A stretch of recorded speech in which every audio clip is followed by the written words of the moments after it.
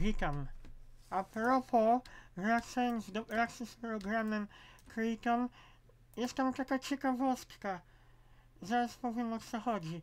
Bo my, wy korzystacie z narzędzia, na przykład, które utworzyliście, na przykład macie waszą aletę utworzoną, tam jest taka ciekawa ikonka. Czekajcie, już powiem o co chodzi. Zaznaczcie to. Widzicie tam miniaturę, ten ołówek? Zaznaczam właśnie go kursorem. Co to znaczy? Już tłumaczę. To znaczy, że to narzędzie było przez nas niedawno używane. Ta ikonka dzisiaj pojawia ołówek. Szkoda, że nie jest ona większa.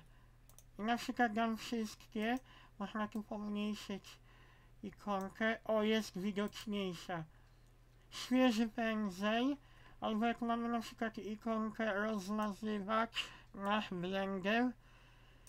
Możemy na przykład szybko wrócić do niego. Jeszcze tutaj wybiorę kolor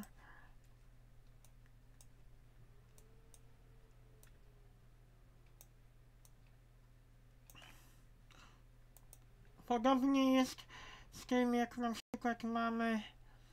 Czekajcie, bo muszę sprawdzić coś. Mokry, y, mokry pędzel. Jest ikonka z mokrym pędzlem? Holender nie jest zaznaczone. Możliwe, że jakbym go... O, teraz się pojawiła ikonka. To znaczy, że jak, my, jak edytowaliśmy to, tu sobie przerzucę na warstwę 1. Nie będę tego nazywał, bo wiem, że to jest warstwa do rysowania. Tu u góry musicie utworzyć create blank frame. Tu nie, bo tu chyba będę tylko wykasowywał. Tu sobie włączę Anion Skin. Tutaj musiałbym modyfikować gumkę i tu się pojawiła ikonka naszego ołówka. Tu sobie zapiszę. Ile narzędzi jest zaznaczone? Raz, dwa, trzy, trzy narzędzie, cztery, pięć, pięć narzędzi, które ostatnio zostały modyfikowane. Także będziecie mogli szybko do tych najczęściej używanych narzędzi wrócić. Tutaj trzeba byłoby zgłosić błąd o tym, że Anion Skin pojawi się wolniej niż powinien.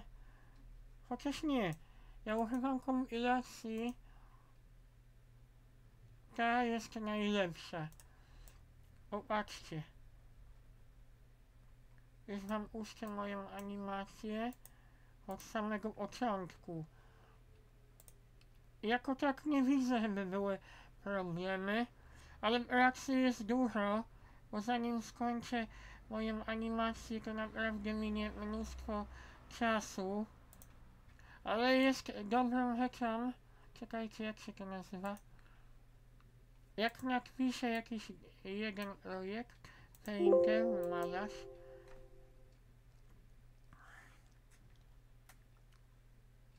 Następnie zaznaczę to. Wrócę do najczęściej używanego narzędzia. Czyli te. I teraz wiadomo, że chodziło o te narzędzie. Z gumką podobnie. Jest ikonka ołówka czarnego, to znaczy, że to narzędzie jest e, ostatnio używane po angielsku recent.